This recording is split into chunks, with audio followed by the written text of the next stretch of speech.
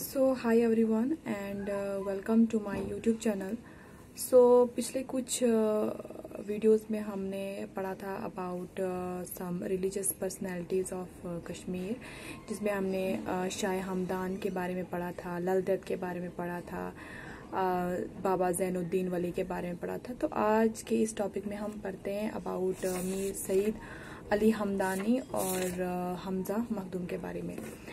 तो जो मीर सईद अली हमदानी थे, वो बेसिकली कश्मीर के नहीं थे। कश्मीर में उन्होंने जन्म नहीं लिया था, वो ईरान के थे। ईरान से वो यहाँ पे आए। तो टोटल उन्होंने दो या तीन तीन विज़िट किए कश्मीर में। बट जो उन्होंने विज़िट किए तीन बार तो उसका जो इम्पैक्ट था, काफ़ी इम्पैक्टफुल रहा कश्मीरी लोगों पे।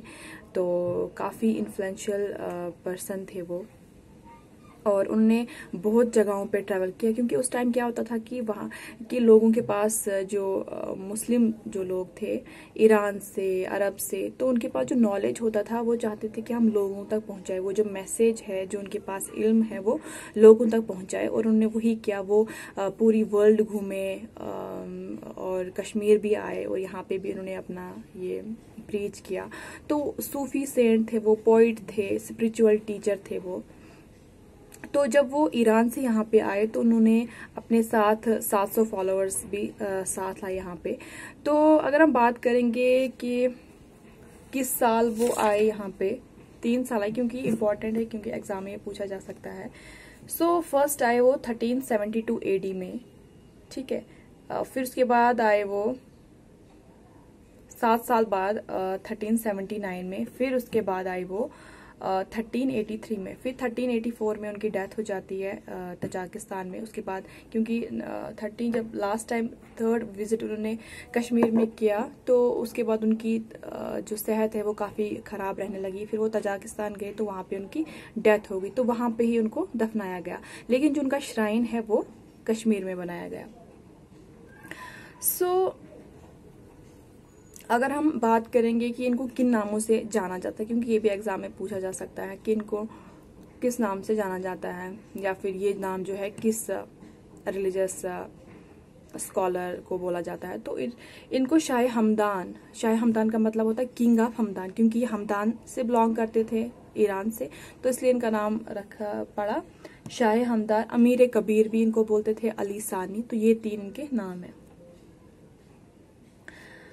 सो so, हाँ और एक इंपॉर्टेंट बात ये कि जो ईरान का जो क्राफ्ट था वो भी उन्होंने अपने साथ लाया।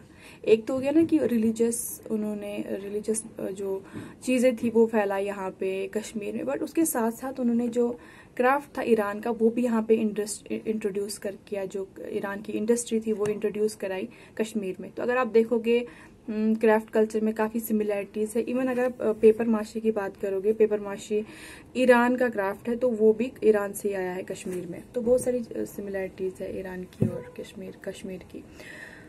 तो एक और इंपॉर्टेंट चीज़ की उन्होंने एक बुक लिखी थी जिसका नाम है जखीरतुल मुल्क। तो ये भी इंपॉर्टेंट ये भी पूछा जा सकता है एग्ज़ाम में। सो कि इन्होंने शाह हमदा ने कौन सी बुक लिखी थी या फिर ये बुक किस आ, किस रिलीजियस स्कॉलर ने लिखी थी तो उन्होंने लिखी थी जखीरतुल मुल्क। तो ये हो गया सईद अली। हाँ और एक बात